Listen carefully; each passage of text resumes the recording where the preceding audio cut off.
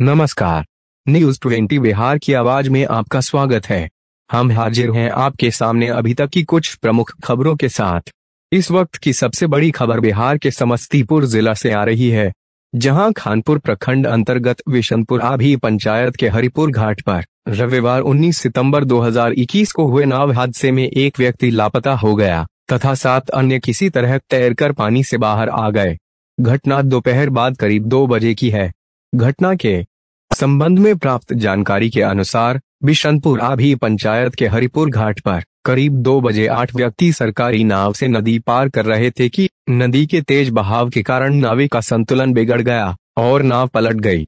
जिसके बाद नाव पर सवार आठ लोगों में से सात लोग किसी तरह तैरकर बाहर आ गए, जबकि एक व्यक्ति लापता बताए जा रहे हैं। इस संबंध में राजद प्रखंड अध्यक्ष डॉक्टर मोहम्मद इशहाक ने बताया कि घटना से संबंधित जानकारी देने के लिए कई बार अचलाधिकारी खानपुर को फ़ोन किया गया, लेकिन उन्होंने फ़ोन रिसीव करना भी मुनासिब नहीं समझा, जिसके बाद उन्होंने अनुमंडलाधिकारी समस्तीपुर को घटना की जानकारी दिया। घंटों बाद घटना स्थल पर थाना अध्यक्ष खानपुर तथा अंचलाधिकारी खानपुर पहुँचे तथा जायजा लिया। देर शाम तक इस नाव हादसे में लापता व्यक्ति को ढूंढा नहीं जा सका था। अभी तक के लिए बस इतना ही।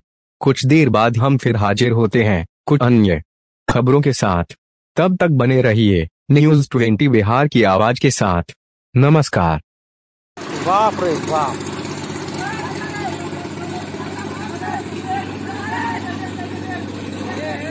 आराम से निकलो ना। आराम से निकलो कोई दिक्कत नहीं।